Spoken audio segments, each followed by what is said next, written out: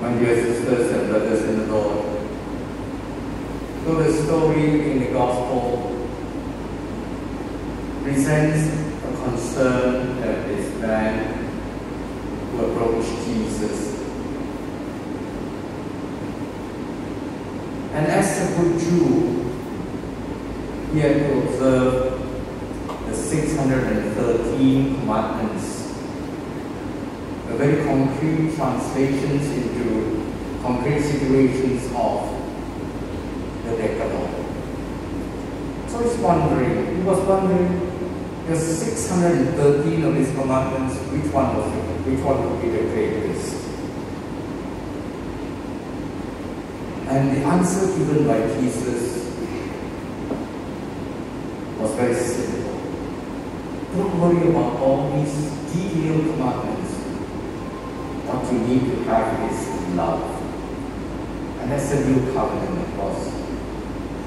Love God with all your heart, all your soul, with all your mind. Love your neighbor as yourself. And these two commandments capture in a nutshell the constitution of the people of Israel, the Ten Commandments.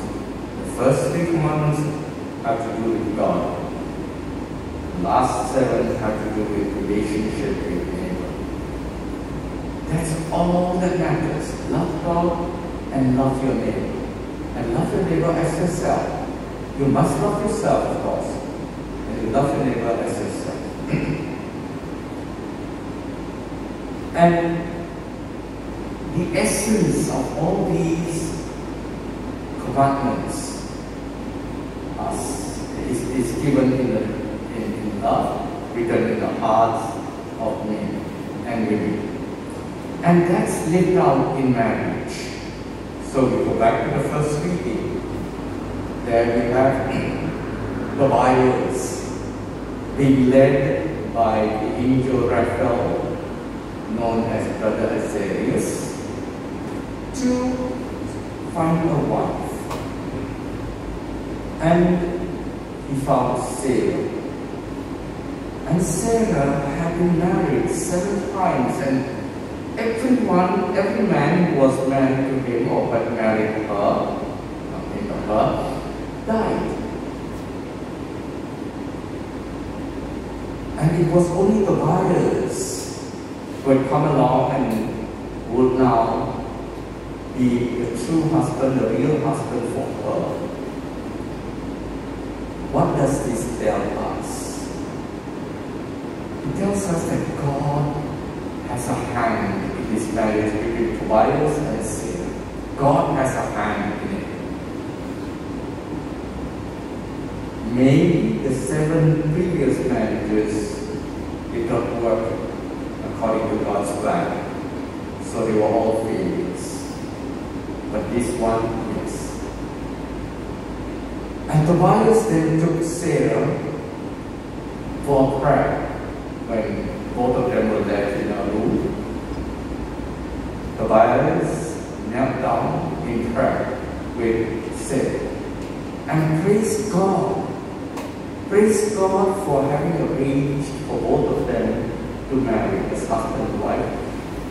And they went back to the time of Adam and Eve, whom God created for each other as husband and wife. And that marriage would be one flesh. That marriage would be one flesh anchored in love.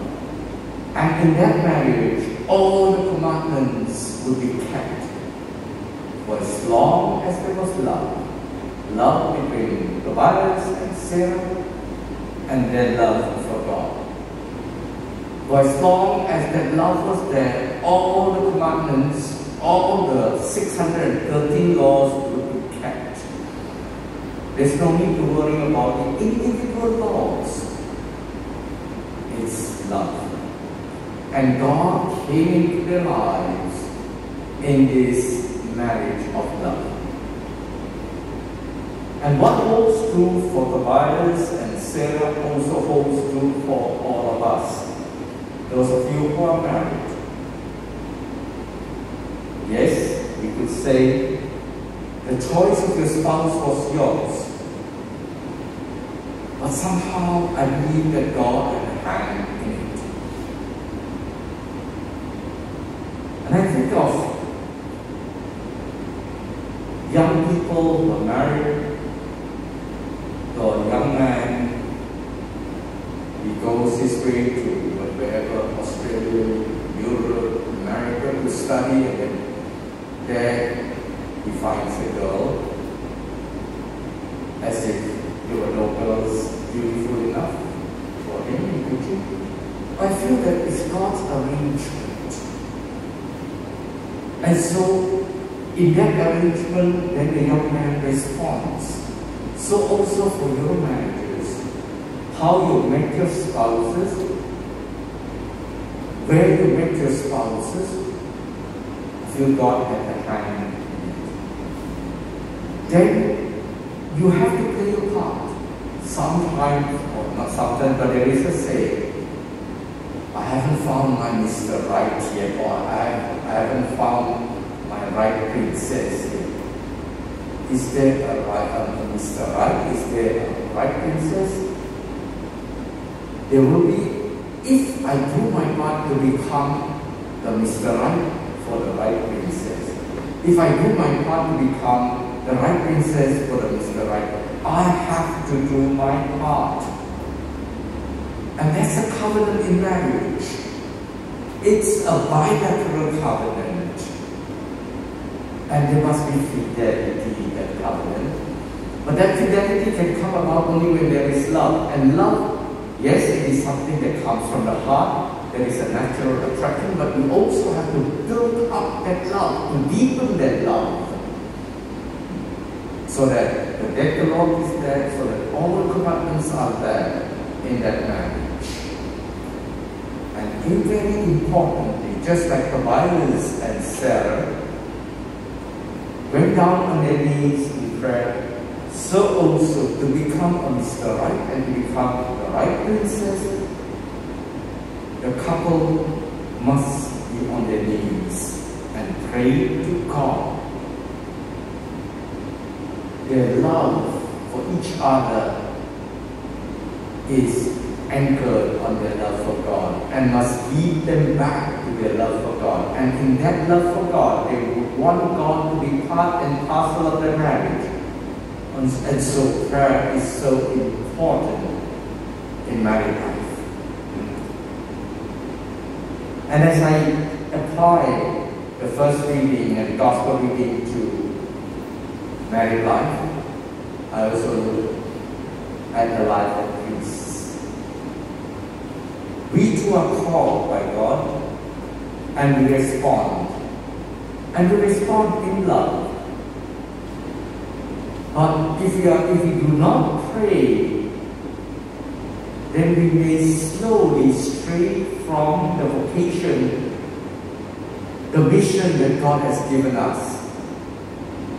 And we may stray so far away from it that our priesthood is no longer a priesthood uh, lived in ministry for people.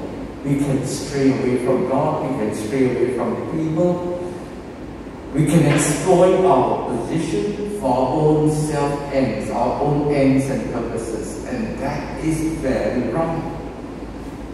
So, as I address you as married people here, I also look into myself as, a, as one who is called to ministry.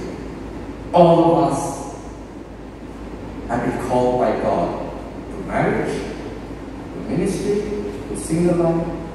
All of us must respond with fidelity because God loves us and because we also love God.